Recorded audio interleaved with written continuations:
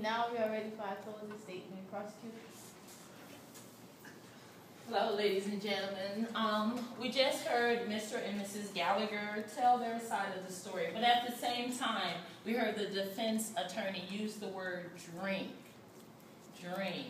I asked Mr. Gallagher, does drinking make him other than himself?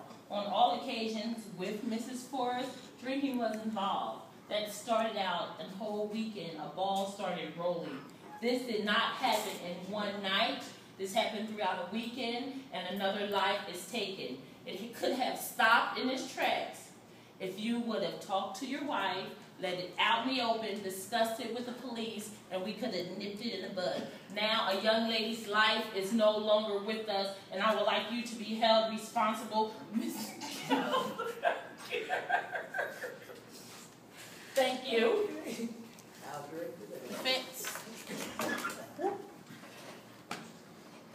My client is innocent. The reason why my client is innocent on the murder part is because anytime, no matter if my client was drinking, no matter how many one night stands he had, he can have, he can sleep with how many women he want to sleep with. It was no point to her coming into the house, putting harm onto him and his family.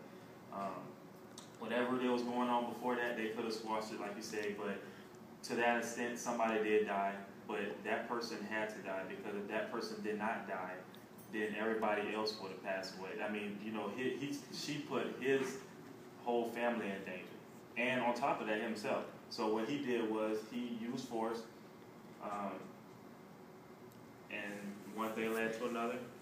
A person lost her life, but she lost her life because she was willing to willing to come into that person's house. No matter what they was going through before then, you came into my house.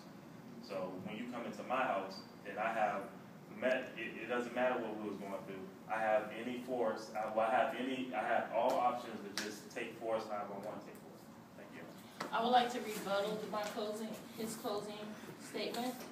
You're not allowed. I'm not allowed.